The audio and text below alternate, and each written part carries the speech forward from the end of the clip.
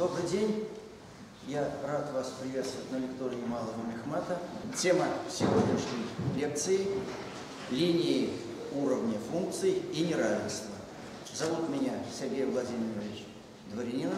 Первый фрагмент, первый сюжет будет связан с понятием линия уровня функции.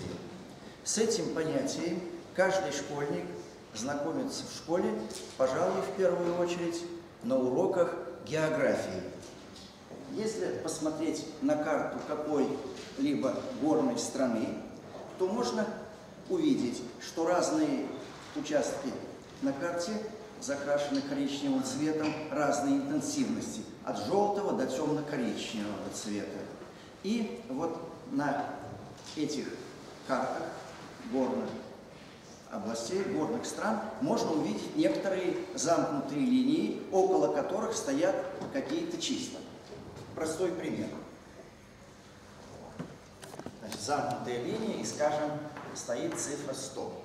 Внутри другая линия, около которой может, например, стоять цифра 200. Потом еще одна линия, скажем, цифра 300, и потом точка, около которой может стоять, например, число 321. На уроках географии учителя объясняют, что это линии одинаковых высот. Одинаковых высот. Если посмотреть на, на горную местность откуда-то сверху, но вообразим, что это из космоса, то, конечно, поверхность Земли будет нам представляться плоской, никаких гор мы там не увидим. Что означают указанные линии? Если двигаться по горной области вдоль этой линии, то турист или человек, который совершает путешествие по горам, будет перемещаться без потери высоты. Он будет находиться все время на одной и той же высоте над уровнем моря ни вверх, ни вниз его дорога вести не будет. Я сейчас покажу простую модель, соответствующую этой ситуации.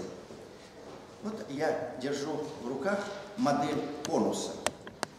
Она легко сворачивается вот из такого кругового сектора. Взял круг, взял круг, вырезал сектор и совместил. Вот на этой модели легко видеть вершину этой горы. И каждый знает, что с этой горы можно скатиться вниз на лыжах или на санках. Э, труднее подниматься вверх. Но есть такие маршруты на поверхности этой горы, по которым можно перемещаться точно так же, как по горизонтальной плоскости. Это окружность и окружающие вершины, если эта гора имеет форму конуса. Я покажу вам гору так, как она видна сверху. Итак, что такое линии уровня вот на географической карте, мы с вами представляем. Но когда мы говорим о линиях уровня, то можно понимать их двояко. Во-первых, можно представлять эту линию на поверхности горы, а можно представлять и говорить о проекции этой линии на плоскость, скажем, на плоскость карты. Говоря о высоте над уровнем моря, мы можем вести речь о функции двух переменных. Вообразите участок поля, на котором растет, к примеру, пшеница. В каждой точке колос. Эти колоси могут иметь разную высоту. Вот это пример функции двух переменных. Значит, в некоторой области растут колосья. Стало быть, каждой точки на плоскости из некоторой области соответствует высота этого колоса. Обычно x, y, ось z. Высота откладывается вдоль оси z. Значит, можно сказать, что высота колоска – это функция h, зависящая от x, y. А, обычно в школе не говорят о функции двух переменных не перегружают программу. Но на самом деле каждый школьник имеет дело с функцией двух и даже трех переменных. Скажем, площадь прямоугольника со сторонами А и Б – это есть произведение А на Б. Вот, пожалуйста, вам функции двух переменных. Объем параллелепипеда с размерами А, Б, С выражается уже функцией трех переменных. а умножить на b умножить на c и так далее. Так что это э, вполне э, естественное понятие, вам легко будет с ним оперировать. Итак, э, рассмотрим некоторые функции двух переменных, очень простые. Э, ограничимся рассмотрением первой координатной четверти. Будем считать, что x, y не отрицательны, и вначале рассмотрим такую функцию. f от x, y равняется x плюс y. Давайте найдем и нарисуем линии уровня этой функции. Будем интересоваться теми точками, в которых, например, выполняется такое равенство. x плюс y равняется единице. Или x плюс y равняется 2. x плюс y равняется 3. И в общем случае x плюс y равняется c. Итак, вопрос. Как мы должны перемещаться по плоскости x, y? Мы можем так немножко вольно сказать. Где мы должны гулять на этой плоскости, чтобы выполнялось все время вот это равенство? Как вы думаете? Чтобы вот это равенство все время выполнялось? Ну хорошо, давайте посмотрим.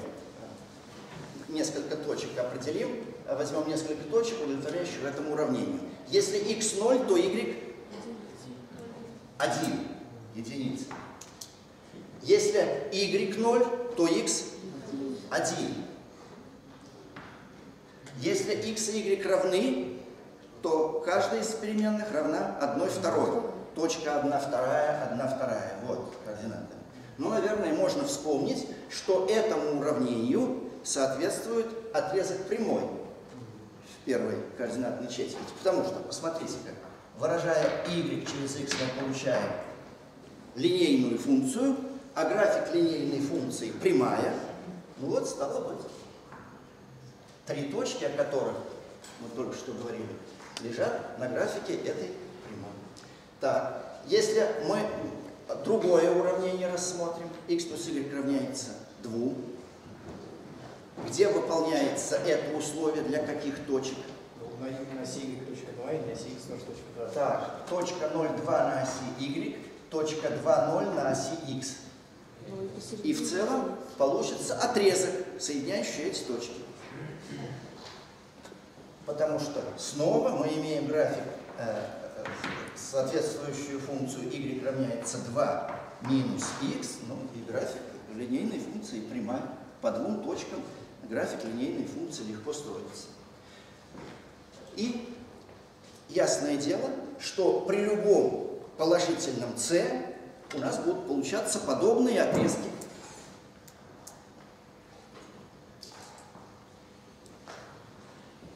Каждый из этих отрезков есть линия уровня этой функции, функции равной x плюс y.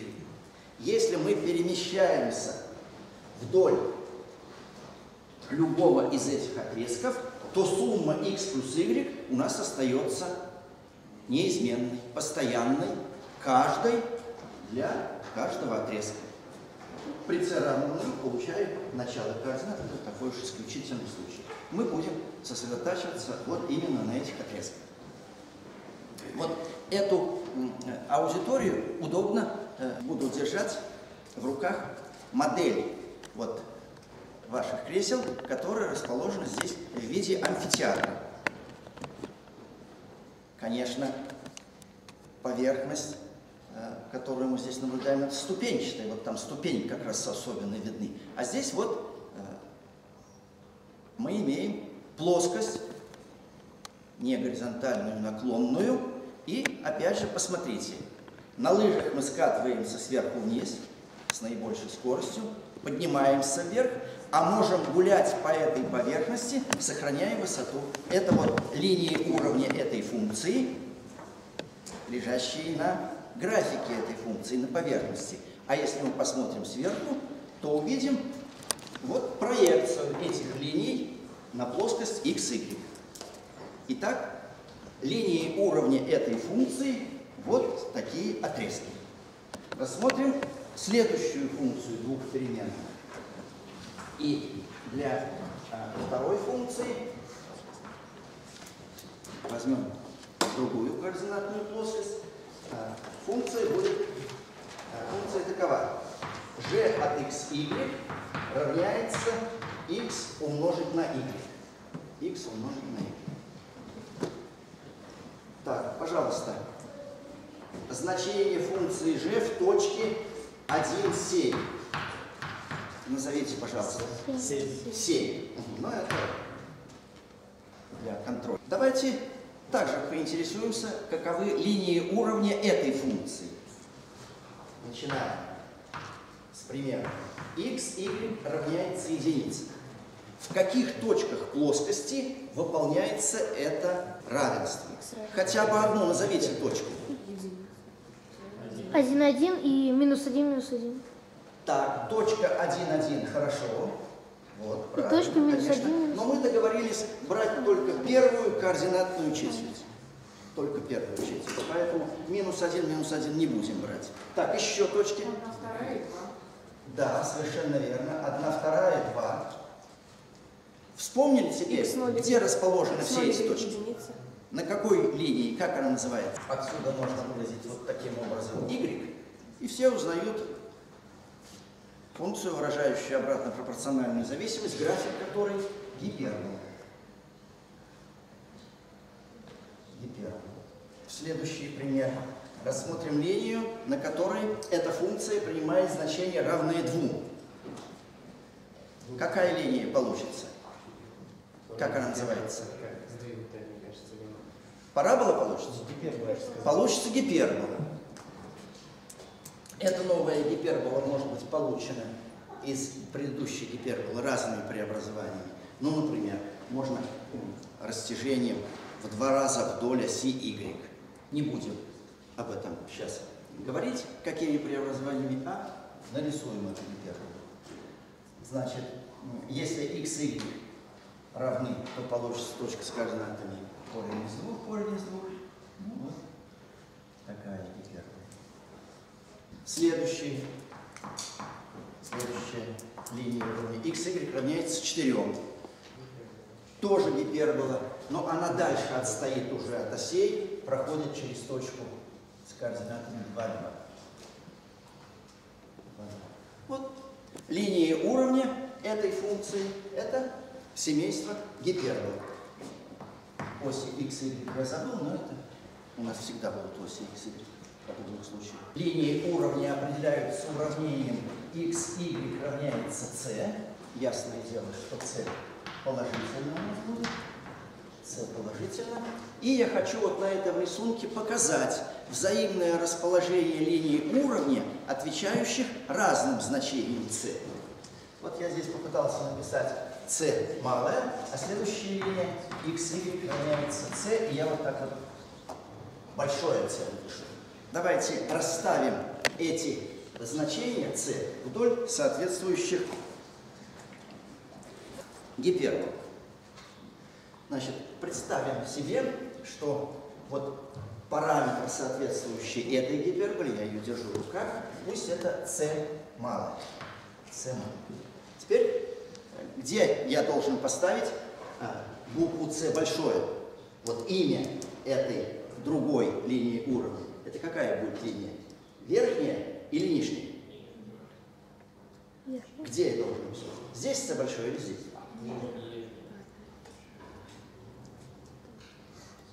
Верхний, все большое. Кто скажет? Мне кажется, это вот зависит от того. ну, Нет, а больше, верхняя линия или нижняя? А можете сказать, что большой цена больше? Ну давайте, я, меньше. а, я не указал вам хорошо, вот так вот имеется в виду, что само написание букв показывает. Тогда больше. Вернее. Верхняя линия. Так, значит, С будет вот здесь. С большой. Верно? Все согласны? Хорошо, тогда давайте вернемся к такому же обозначению э, линии уровня для предыдущей функции. Значит, пусть вот эта линия С малая, С малая. И скажите, у какой линии я должен поставить букву С большое, вот, соответствующее этому неравенству? У верхней, у верхнего отрезка или у нижнего? Верхнего. Тоже у верхнего. Значит, вот С большое. Значит, нас будет интересовать не только отдельная линия уровня сама по себе, но и взаимное расположение разных линий уровня. Ну что же, хорошо. Хорошо. Э, То, что я дальше вам буду рассказывать, э, написано в одной статье в журнале «Квант». Легко найти эту статью в интернете в свободном доступе. Можно прочитать, можно распечатать. Следующая функция задается уравнением, условием f, g, пусть будет r от x, y. И эта функция двух переменных такова. x квадрат плюс y квадрат. И нас будут интересовать линии уровня этой функции. Другими словами, мы будем искать ответ на такой вопрос. Где x квадрат плюс y квадрат равняется c? Знак вопроса. Где? Это значит в каких точках? Начнем с частного случая. Выясним, что это за точки, в которых сумма квадратов x и y равна единице. Совершенно верно, на окружности. Я поясню. Значит, если мы возьмем произвольную точку с координатами x и y, мы работаем с вами в первой четверти, и соединим эту точку с началом координат, то увидим, или легко увидеть, прямоугольный треугольник. Вот такой прямоугольный треугольник. Горизонтальный катет. Какова длина его? Это же абсцисса точки. Значит, длина x. Еще раз я x это длина. А точка на оси тоже вот x. Может быть, я так это что x это длина. А вертикальный катет имеет длину y. Тогда по теореме Пифагора, если мы вот эту величину обозначим r, или d, давайте лучше так, d, слово дистанция, да, то по теореме Пифагора квадрат гипотенузы равен сумме квадратов катета. Геометрический смысл суммы квадратов. Это квадрат расстояния от начала координат до точки с такими координатами. Стало быть, если у нас есть такое уравнение, то э, э, и если мы рассматриваем э, такое уравнение, то речь идет о всех точках, удаленных от начала координат на расстоянии равное единице. Значит, это окружность. Окружность радиуса единицы. Единичная окружность. Поскольку мы решили с вами рассматривать только первую координатную четверть, то получается четверть окружности. Да, еще пример. x квадрат плюс y квадрат равняется 9. Этому уравнению соответствует окружность радиуса 3. Стало быть, за каждым уравнением вот такого вида x квадрат плюс y квадрат равняется c, скрывается окружность.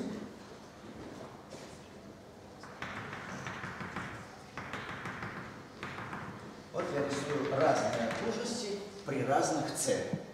При разных c.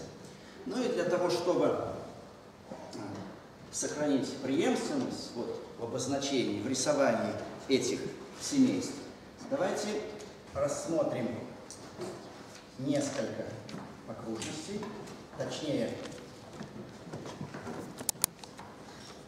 четверти, четверти этих окружностей, соответствующие разным c. Значит, если c малое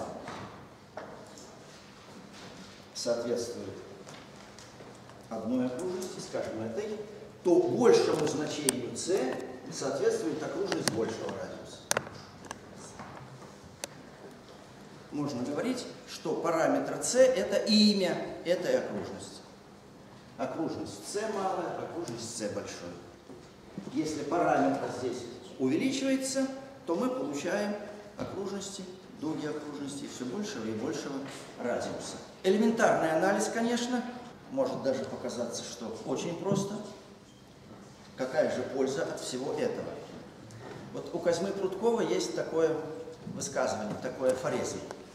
Бросая в воду камушки, наблюдай за кругами, ими образуемыми.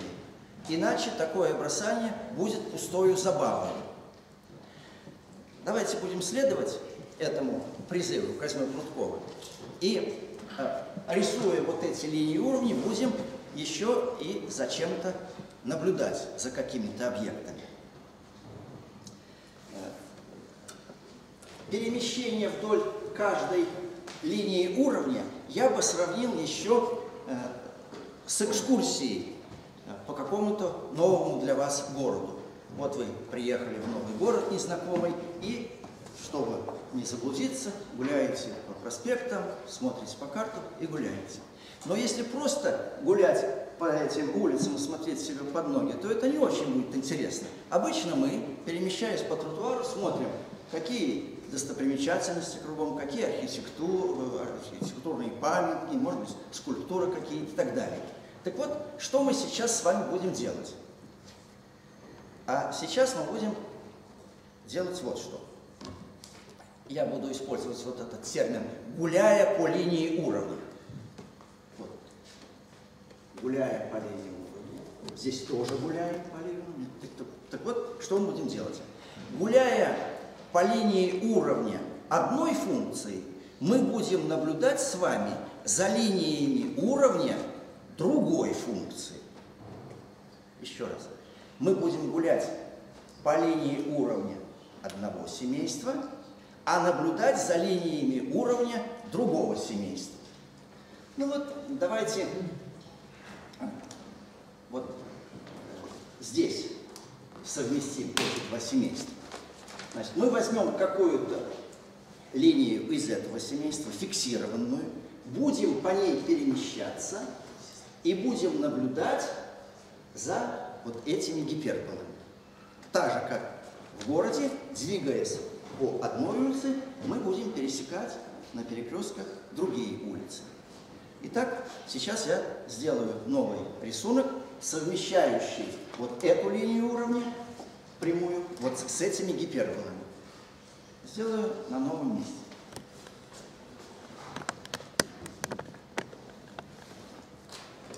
Итак, плоскость x, y.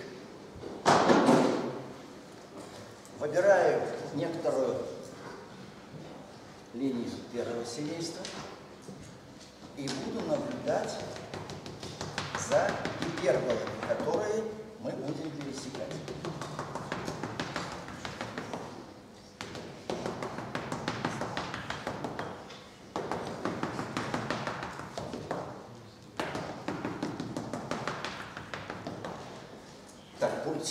Обозначены гиперболы.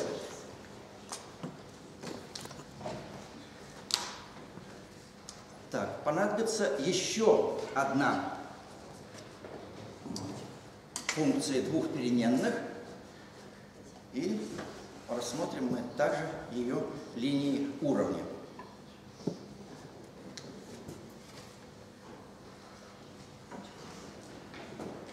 Так, географическая интерпретация нам не нужна.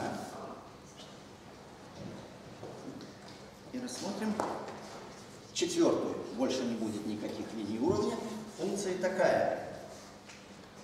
Обозначим ее так вот. Дельта от x, y. Формула для этой функции такова. x минус y абсолютная величина разности. Абсолютная величина разности. И нас будут интересовать линии уровня этой функции. x минус y по модулю абсолютной величине равно c. Равно c.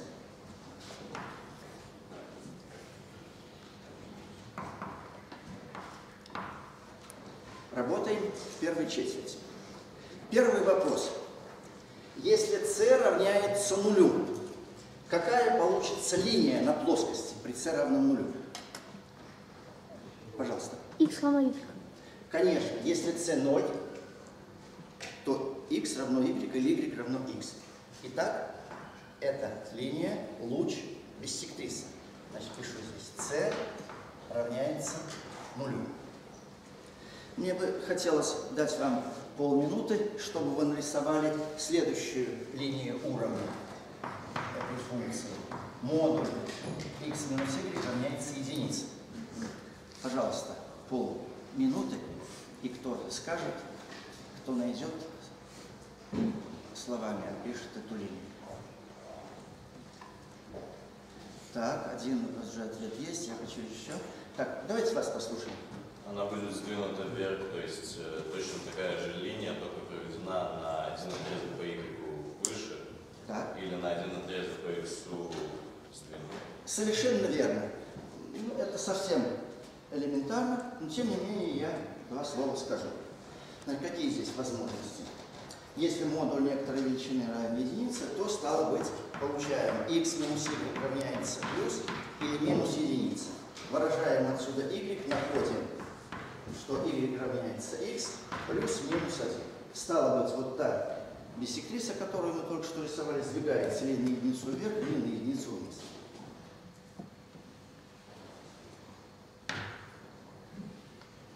Вот, смотрите, тут уже линия уровня этой функции оказывается не связана, она состоит из двух компонентов.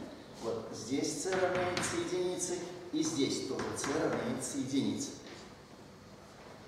Я думаю, что ясно, что при разных c мы будем получать пары подобных лучей. Так. Так. Скажем, если это линии уровня, отвечающие значению c какому-то, то большему значению параметра отстоят линии, соответствуют линии, далее отстоящие от биссектрисы. Значит, вот здесь вот c большое, и здесь c большое. А теперь э, совершим прогулку вот по этой плоскости. Я держу в руках вектор, показывающий направление нашего движения по плоскости XY.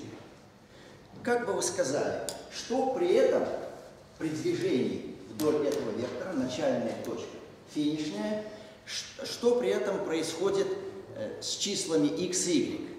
Как разность между ними увеличивается или уменьшается? Что происходит с числами x, y? Они сближаются или удаляются? Я имею в виду следующее. Вот скажем, мы возьмем числа 1, 5.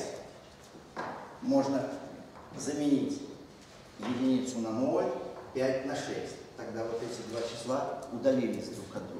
А можно единицу заменить на двойку, пятерку, на четверку, то они сблизились. Два числа напрямую или сближаться, или удаляться. Так вот вопрос. Если мы движемся по плоскости вот таким образом, вдоль вектора, который я держу в руках, что происходит с числами x, y? Они удаляются друг от друга или сближаются? Они сближаются. Сближаются, совершенно верно, потому что об этом нам сигнализирует вот эта вот величина c. Величина c как раз и показывает разницу, разность этих чисел.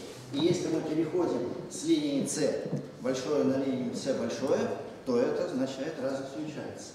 Значит, давайте мы таким образом будем гулять с вами по плоскости, чтобы переменные сближались чтобы переменные x, y сближались. Это может быть вот такой путь, это может быть вот такой путь. Согласны? Это может быть как вот так еще. Тоже сближаются x, y. Если э, посмотреть на линии уровня этой функции, э, на график, соответствующий этой функции, то это будет вот такая галочка. Функцию y равняется модуль x, все помнят. y равняется модуль. Я вам ее показываю. Если посмотреть вот торец моей модели, то вы увидите y равняется модуль x. Кто хочет увидеть модуль x? Поднимите руку, я настрою вот этот. Так, так. Ну как, получается, видите модуль x? То есть вы не видите вот такую плоскость, а вы видите просто два отрезка, да? Вот. Плоскость будет нам казаться прямой линией.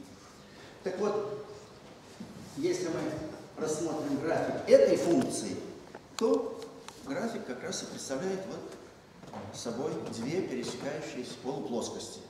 Две пересекающиеся полуплоскости. И вот посмотрите,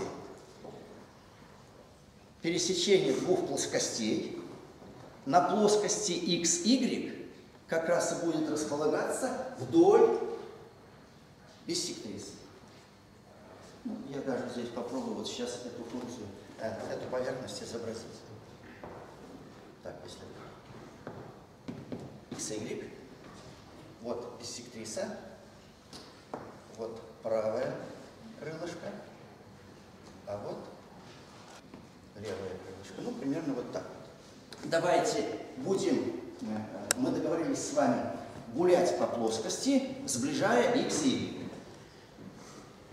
Представим себе, что стартовая точка у нас здесь, возвращаемся к этому рисунку, стартовая точка здесь, и перемещаясь из этой точки вверх, мы будем сближать x и y. До каких же пор x и y будут сближаться у нас? До точки До пересечения с бисектрисой. Вот до этой точки, там, где они окажутся равными. Ну вот мы дальше за эту точку не пойдем, а будем двигаться вот по половине этого отрезка. Итак, опишем наше путешествие. Значит, у нас x плюс y равняется c. Мы же движемся по линии уровня функции f. По линии уровня. При этом x, y у нас сближаются. Сближаются, потому что мы переходим с одной линии уровня функции на другую таким образом. А теперь скажите, что при этом происходит у нас с произведением x на y? Что при этом происходит с произведением x на y? Ведь в каждой точке у нас свои значения x и y. Значит, стало быть, свое произведение x на y. Как же меняется это произведение? Увеличивается. Возможно, x уменьшается, y уменьшается. Вот, так сказать, кого перебарывает. X на Y становится все больше и больше. Так, чтобы ответить на этот вопрос, что происходит с x на y, давайте посмотрим. Ведь у нас есть заготовка. Как мы, путешествуя по отрезку прямой, как мы переходим с одной гиперболы на другую? Мы видим, что мы поднимаемся с одной гиперболы на другую. Движение вверх. Так, а обращаясь на этот график, видим, что при таком переходе с гиперболы на гиперболу параметр, соответствующий этой гиперболе, увеличивается. Значит, делаем вывод. x на y Увеличивается. Я это поставлю стрелку вверх. Вот так. x на y увеличивается. Итак, мы с вами путешествуем по линии уровня одной функции и при этом наблюдаем за другой функцией, за ее линией уровня. Вот такое, по-моему, элементарное наблюдение. Вот так же, как карты помогают, помогали мореплавателям путешествовать. Без карты и туриста, пожалуй, не пойдет в поход без карты. Оказывается, вот подобные карты помогут нам при доказательстве неравенства.